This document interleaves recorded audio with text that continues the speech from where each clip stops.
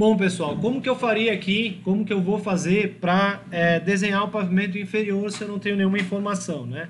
As minhas medidas eu tenho lá na folha e eu vou medir com o escalímetro. Mas numa situação que vocês estão projetando a proposta de vocês, vocês saíram de uma volumetria e vocês têm uma intenção, vocês vão querer fazer o pavimento inferior ah, com alguns alinhamentos relativos à planta do pavimento superior. Isso aí vai facilitar a estrutura, a reduzir custo, vocês vão saber se a projeção está se encaixando uma em cima da outra, como é que eu faço isso, tá? É, da mesma forma que a gente trabalhou no outro exercício da última vez, eu vou fazer o quê? Bom, eu vou copiar isso aqui para cima e para o lado para eu conseguir trazer tanto essas linhas verticais aqui, ó, essas linhas aqui, pegar esses alinhamentos a partir de uma cópia aqui e esses alinhamentos aqui, ó, a partir destas linhas que estão aqui. Antes disso, eu vou desenhar a projeção desse pavimento. Como eu estou desenhando um pavimento abaixo desse, eu vou desenhar a projeção desse pavimento para eu ter uma ideia é, da posição das paredes dele em cima, tá? Então, primeiro eu vou desenhar a projeção. Projeção, eu vou lá na minha camada projeções. Eu quero uma polilinha, tá? Eu quero um polígono para eu não precisar ficar selecionando várias coisas depois quando eu quero carregar. Então vou selecionar ali, ó, polilinha, vou escolher um vértice e vou começar a desenhar. Tá? Bota ali, ó, zero e tô com o meu orto ligado, vou pegando os pontos finais aqui, ó. Perpendicular, depois, se eu errar uma linha, eu posso, no meio do comando, apertar o Enter, que é Undo. Digamos que eu cliquei fora aqui, ó. Eu posso apertar o Enter, ele desfez o último ponto, mas eu ainda estou no meio do comando, tá? E quando eu for clicar no último ali, ó, eu vou apertar a tecla C de Close. Eu posso clicar e sair do comando, mas nem sempre, né? 99% das vezes ele vai fechar o polígono. Mas se eu quiser garantir 100% das vezes, é melhor apertar C de close e enter. Aí ele vai juntar, né? Ele vai pegar o último ponto que eu cliquei e vai fechar o polígono no primeiro ponto. Não interessa onde está. Eu vou até fazer aqui do lado para vocês entenderem. Ó. Se eu pegar ali polilinha, fizer isso aqui, ó, parei e der C, Enter, esse último segmento ele desenha sozinho para mim. Que ele vai fazer o segmento que for necessário para eu poder fechar aquele polígono, tá? Então eu tenho agora aqui a minha projeção, tá aqui escondida atrás dessa linha, mas ela existe. Então eu vou mover ela para cima, que é onde eu vou desenhar. Eu vou desenhar o meu pavimento inferior aqui, ó. Posso ajustar a escala dessa linha ah, nas propriedades, né? Então vou botar aqui em Line Type Scale, eu vou tirar de 1 e diminuir um pouco, né? Ponto 0,1. Ficou muito pequeno. Então, vou botar ponto 5. Ponto 0,5. Está um pouco melhor. Posso deixar ponto 1 mesmo. Deixar ponto 1. Então, eu tenho isso aqui, ó, é a projeção do meu pavimento superior. Eu vou copiar agora esse pavimento superior. CP e vou 8 e vou copiar ele aqui em cima. Tá? E eu vou ajustar o alinhamento para que ele fique tanto alinhado desse lado quanto desse lado. Fazer uma linha infinita aqui com o comando REI, R-A-Y. E vou repetir esse comando aqui, ó. Repetir esse comando aqui e repetir ele aqui. Tá vendo que ele está desalinhado, né? Então eu vou mover para o ponto correto. Mover para cá.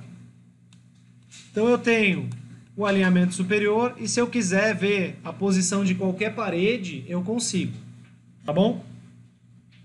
Então, por exemplo, se vocês olharem a folha de vocês que tem o pavimento inferior, vocês vão notar que existe a projeção do pavimento superior e tem a projeção desse vazio aqui, né? Esse vazio existe nesse pavimento também. Então vou desenhar esse vazio. Vou pegar lá, vou mudar, vou deixar em projeções mesmo. desenhar uma linha ó, dessa parede. O meu vazio está alinhado aqui. Mas é o pavimento inferior e eu quero a parede, né? Esta linha aqui provavelmente é a projeção da cobertura. Então peguei aqui, ó, esta parede e esta parede que é o vazado. E vou puxar nesta vista as duas paredes horizontais, ó. Assim eu não preciso ficar medindo uma por uma e não preciso ficar medindo a distância entre uma coisa e outra. Como eu peguei as horizontais daqui e as verticais daqui, eu tenho meu quadrado aqui, ó, e eu posso simplesmente desenhar um retângulo e dar uma, um match properties na linha aqui, ó. Tá? Eu posso deletar essas linhas que elas servem só de referência temporária. Então eu tenho esse retângulo aqui, já foi desenhado no meio. Agora, com base nesse retângulo, eu, eu consigo olhar a minha planta e desenhar o que eu preciso desenhar, né? Então eu consigo medir a distância daquela parede ali, né? Da parede do muro de arrimo que existe aqui.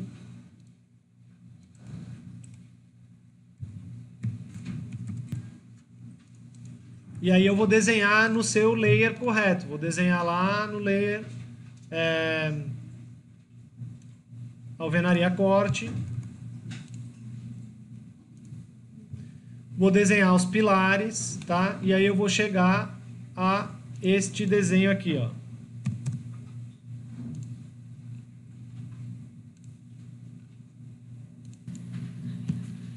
Então eu vou desenhar esta parede aqui, vou desenhar esta parede aqui, e vou, ali, vou colocar os pilares, tá? Como é que eu pego o pilar? Bom, esse pilar aqui, ele tá sem nenhuma dimensão, mas eu posso imaginar um sistema construtivo, né? Eu posso imaginar o que, que é a estrutura abaixo dessas paredes aqui. Vamos pensar que esse pilotia aqui está segurando essa parede, né? A laje que termina numa viga que deve estar abaixo dessa parede. Então eu posso passar uma linha de referência do ponto médio dessa parede aqui, ó, para eu alinhar esses pilares aqui. Se ele for sair da projeção, eu posso ter um desvio, porque essa, essa viga ela pode ser deslocada, tá?